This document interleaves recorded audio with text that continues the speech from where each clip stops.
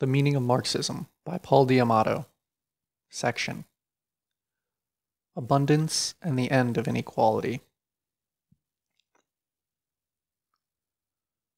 Notwithstanding the sordid avarice and selfish plunder of class society, human productivity has advanced.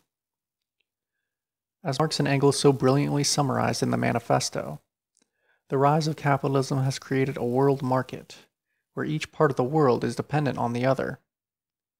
It has concentrated populations in large cities, subordinating the country to the town. And it has, by the development of centralized and expanded machine based mass production, created productive forces that far surpass all previous societies. The bourgeoisie, quote, cannot exist without constantly revolutionizing the instruments of production and thereby the relations of production, and with them the whole relations of society.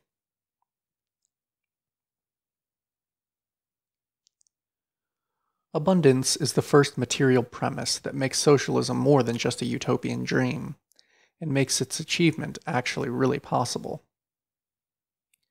As Engels explained, quote, it is precisely this industrial revolution which has raised the productive power of human labor to such a high level that for the first time in the history of humanity, the possibility exists, given a rational division of labor among all, to produce not only enough for the plentiful consumption of all members of society and for an abundant reserve fund, but also to leave each individual sufficient leisure so that what is really worth preserving in historically inherited culture, science, art, human relations, is not only preserved, but converted from a monopoly of the ruling class into the common property of the whole of society and further developed. End quote. The decisive point for Engels is that this abundance has removed every excuse for the existence of a handful of exploiters, or for any kind of privation. Indeed, the existence of a ruling class has now long been a positive hindrance on the human development.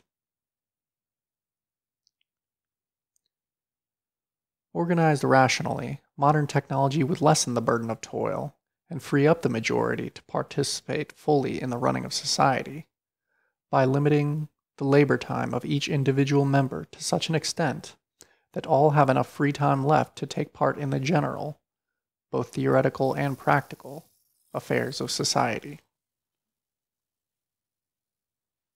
End of chapter 3.